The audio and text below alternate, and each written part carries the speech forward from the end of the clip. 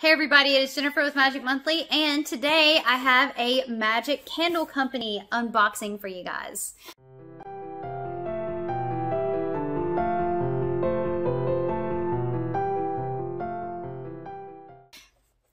So I actually used to do Magic Candle Company, um, their subscription box, and I just kind of took a break and I'm getting back to it. I'm loving candles and wax warmers and all the good things, the good smells in my house right now. I don't know, the holidays, like I just feel like need to smell like holidays. So basically this is a subscription box with candle smell good things um, based on Disney scents. So I'm going to go ahead and unbox this. I don't know what the scent's going to be. I don't know what the theme's going to be, but this box is $24.95 a month plus shipping, and I think that's dependent on where you are.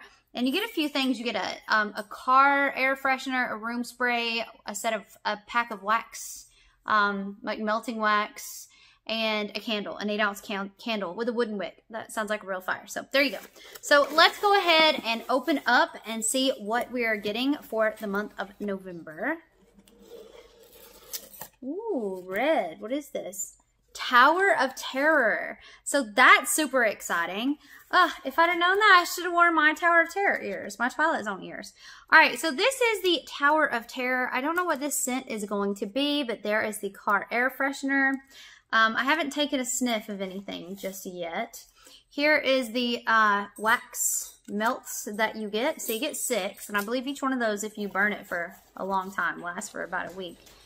Um, and then we have the room spray, and it does have oil in it because it's floating at the bottom. So I guess be careful. It is a room spray, but you know, oil can damage fabrics and things. So I don't know if it says that, but you may just want to be cognizant. Um, it says it doesn't contain any dyes, and it's safe for bed linens, carpets, car seats, and other fabrics. So,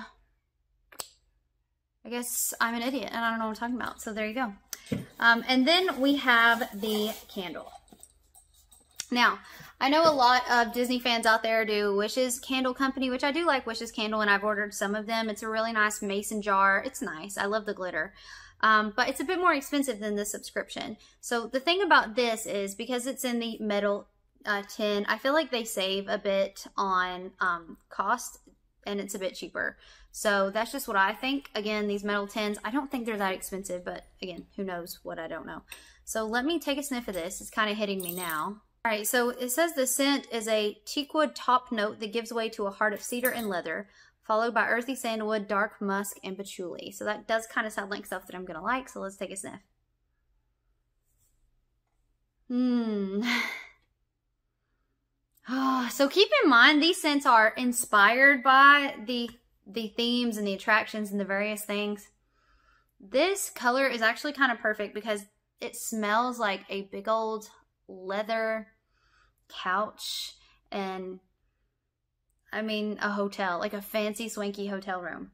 So I totally am picking up on how this is Tower of Terror appropriate.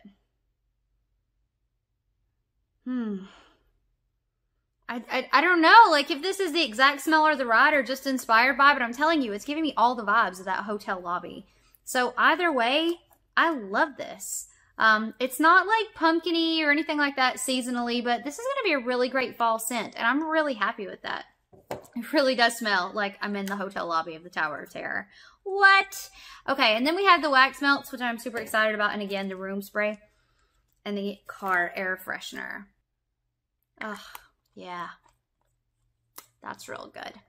All right, guys, so that is my uh, Magic Candle Company subscription box. Let me know if you get this box. Let me know what you thought of this box. Have you smelled this fragrance? Because it is real good. Can strongly recommend that.